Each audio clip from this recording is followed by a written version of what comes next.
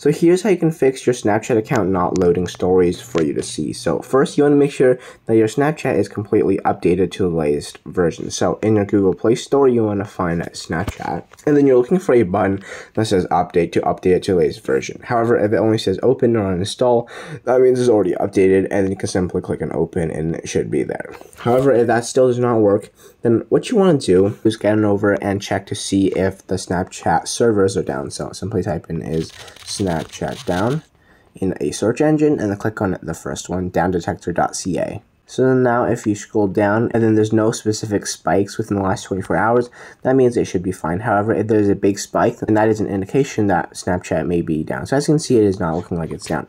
The last thing that you can do is basically offload or clear cache on your Snapchat app. So you want to press and hold on it, go into the app info, and then now you want to click on force stop right over here. Now you want to scroll down and then click on storage usage.